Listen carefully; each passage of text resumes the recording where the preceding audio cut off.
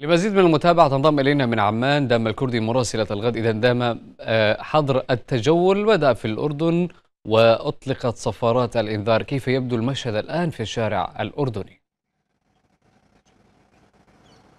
نعم وائل بالفعل أطلقت صفارات الإنذار عند الساعة السابعة صباحا إيذانا ببدء سريان حظر التجول في المملكة الأردنية حتى إشعار آخر. الشوارع خالية إلا من آليات الأمانة العامة و أمانة عمان ووزارة الإدارة المحلية والتي تسهم في مسا في مساعدة المواطنين آه، في حال الاحتياج إلى ذلك. انتشرت شرطة السير في شوارع العاصمة آه، عمان آه، الجيش العربي على مداخل ومخارج مدن ومحافظات المملكة. أعلنت الحكومة الأردنية بأن يوم الثلاثاء سيتم السماح للمواطنين وضمن آلية معينة بالتجول وضمن ساعات محددة.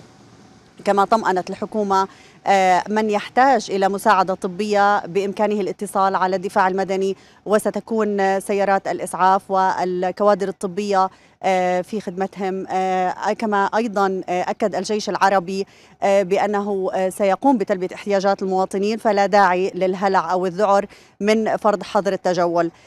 كما ذكرت الشوارع خالية ولكن هذا يعني بأن المواطنون التزموا بقرار وبأمر الدفاع رقم 2 للعام 2020 والقاضي بحظر التجول من الساعة السابعة صباحا يوم السبت الواحد والعشرين آه، من مارس وحتى إشعار آخر حفاظا على صحتهم ومن أجل آه، المحاولة والحيلولة دون انتشار فيروس كورونا طيب. نحن نقف أمام وزارة الإدارة المحلية آه هذه الإدارة التي تتبع لها بلديات آه المدن والمحافظات والقرى آه من أجل آه، أخذ التعليمات فيما يتعلق بكيفية آه المحافظة وكيفية آه تلبية احتياجات المواطنين. ومن جهة ثانية أحد الفنادق الحجر الصحي التي يتواجد بها الأردنيون ويتواجد أيضا الكوادر الطبية من أجل إجراء الفحوصات اللازمة لهم والتأكد من عدم إصابة أي منهم.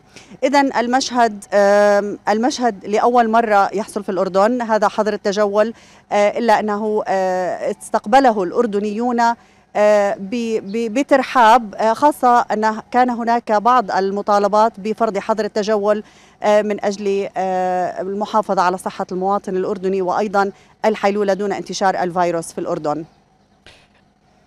شكرا جزيلا لك داما الكردي مراسلة الغد كنت معنا من عمان.